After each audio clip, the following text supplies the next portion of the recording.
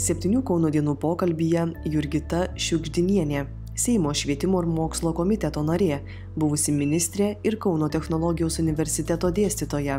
Tema - mokytojų streikai ir gyvenimo įgūdžių pamokos. Stebint padėti Lietuvos mokyklose ir už jų ribų, turbūt džiaugiatės, kad pasitraukėte iš ministro posto. Tikrai nesidžiaugiu, nes atėjau į šią poziciją turėdama labai aiškę viziją, suplanuotus darbus. Ir e, mano tikslas e, tikrai buvo nepasėdėti pozicijoje, bet e, įgyvendinti suplanuotus darbus. Tikrai nesidžiaugiu, kad šiandien na, yra tokia situacija, jog m, kai kurie mokytojai planuoja streikuoti, iš esmės profesinės sąjungos, švietimo profesinės sąjungos planuoja streikuoti ir e, tikrai pergyvenu dėl to, tikrai rūpi, nepaisant to, kad pasitraukiau iš šitos pozicijos, bet e, man rūpi ir rūpės švietimas. Viename interviu teigiate, kad mokytojai neturi pagrindo streikuoti. Mes e, esame pasirašę net du susitarimus. Tai vienas yra kolektyvinės sutartys su profesinėmis sąjungomis, kurioje yra būtent su švietimo profesinė sąjunga, kurioje labai aiškiai numatyti mūsų susitarimai, ką mes turime įgyvendinti, ką mes įsipareigojame, dėl ko susitarėme. Kitas labai svarbus susitarimas tai nacionalinis politinių partijų susitarimas, kuriame taip pat yra išdėstytos pagrindinės kryptis, pagrindinės finansavimo kryptis ir na, tai, dėl ko dabar sukasi pagrindinė diskusija, apie ką sukasi pagrindinė diskusija, tai yra 130 vidutinio darbo užmokesčio šalyje iki kitų metų pabaigos.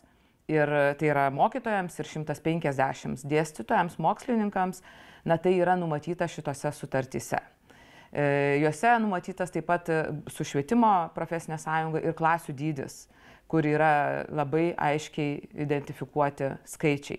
Ir aš tą sutartį pasirašiau ir na, aš tikiu susitarimais ir e, siekiau tos susitarimus įgyvendinti, todėl mane tiesiog nustebino, jog na, nepraėjus sutartam terminui, e, profesinė sąjunga iš naujo pateikė 20 naujų reikalavimų ir na, atidarė diskusiją šiais klausimais. Aš tikrai e, manau ir mes visi, man atrodo, dėl to sutarėm, kad mokytojų darbo užmokestis yra per mažas ir krūviai yra per dideli, jog dirbti mokytojui yra sunku.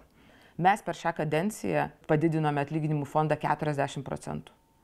Jeigu jisai didės kitais metais taip, kaip yra diskutuojama, tai bus 70 procentų. Tai yra neregėtas augimas per na, visą nepriklausomybės laikotarpį. Per pastaruosius metus nuo 19 metų biudžetas švietimo ir mokslo išaugo 700 milijonų. Neregėti skaičiai.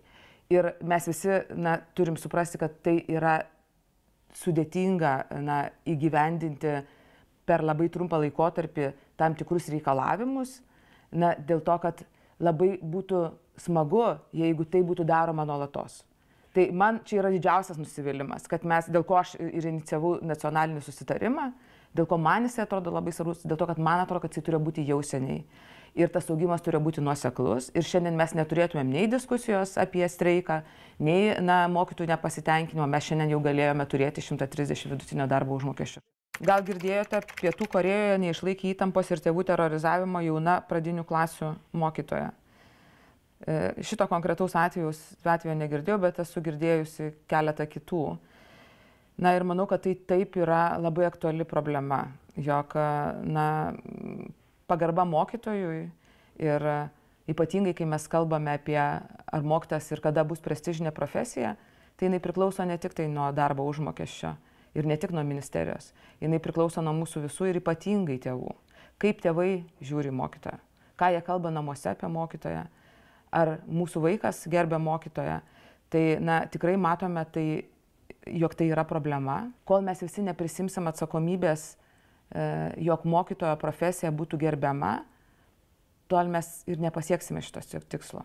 Tai lankomumas kurie sprendimai buvo priimti ir inicijuoti, e, na, dar man būnant ministrė, tai yra labai tampriai susijęs su, ir su šita problema.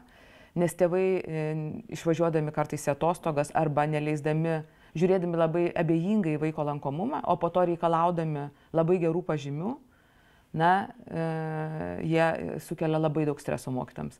Beje, ir aš pati nuolatos gaudavau ir tebe gaunu tėvų žinučių kurių dalis yra tikrai, e, dalis yra viskas tvarkoje, tai raujasi tėvai, tai to, tai kodėl gavo septynis kartais ar ten šešis. Bet žinot, kartais kalba, kurią rašo tėvai, mane tiesiog e, glumina. Ir aš tada galvoju, kaip jaučiasi mokytas, jeigu manęs klausia taip, tokiu tonu, tokiu žargonu, tai kas vyksta klasiai, kaip kalba su mokytoja.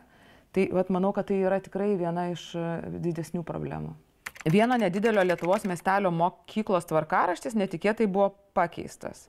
Vietoj matematikos penktokams buvo pradėtos vesti gyvenimo įgūdžių pamokos. Tai tikrai neturėtų ir negalėtų tai būti. Tai yra atskira pamoka gyvenimo įgūdžių pamoka e, ir matematikos pamokos privalo vykti. Tai man sunku pakomentuoti, e, turbūt reikėtų jau į konkrečią mokyklą pasižiūrėti ir konkretų vadovo sprendimą, e, jeigu tai buvo, bet sunkiai tikėtina kad taip galėjo atsitikti. Ir žinot, ir man labai keista, kad e, mes vat, keliam šitą klausimą ir sakot, ir jūs sakot, ar, ar nėra keista, kad mes vat, sprendžiam, kalbam apie matematiką, bet, na, tarkim, narkotikai yra didžiausia problema. Bet kuomet mes parengiam programą gyvenimo įgūdžių, kuri būtent yra skirta šitam dalykui, nes iki šiol mes apie šituos dalykus kalbėdavome fragmentiškai. Buvo prevencinės programos, bet jos vienur vienu metu, kitur kitur, kitur nebūdavo. E, yra, nėra. Tai buvo toksai, vat, na, ES finansavimas yra, yra programa, nėra finansavimo, nėra programa. Šiuo metu tai yra programa, kurią finansuoja biudžetas. Jinai daug kainuoja biudžetui. Jinai, jinai apima visas šitas rytis, kurios mums svarbios, dėl kurių mes šiandien pergyvenam. Tai ir patyčios, tai yra galim, galimas seksualinis smurtas, tai yra ir e, prevencija psichotropinių medžiagų, viskas yra programoje. Ir kodėl mums jinai nepatinka? Ko dar labai norim ir ko labai tikimės, kad e, į pamokas ateis žmonės, kurie dirba su konkrečiais klausimais. Tai programa yra taip ir, ir organizuota, kad ne tik mokytos kalba, tarkim, ten apie, apie asmeninę higieną arba apie sveikatą. Tai kad yra ir sveikatos biuras, kuris e, ateina ir pasakoja mokiniams būtent apie, tarkim, asmens sveikatą ar apie gyvenimo būdą. Tai mes turim išeiti už klasės ribų mes iš mokytojo taip reikalaujam daug, lyg patys būtumėm, na, kiekvienas iš mūsų kažkokie tai idealūs ar genijai. Pasaulis taip greitai keičiasi, kad mokytas negali visko žinoti, bet jis gali pasimti pagalbą iš išorės.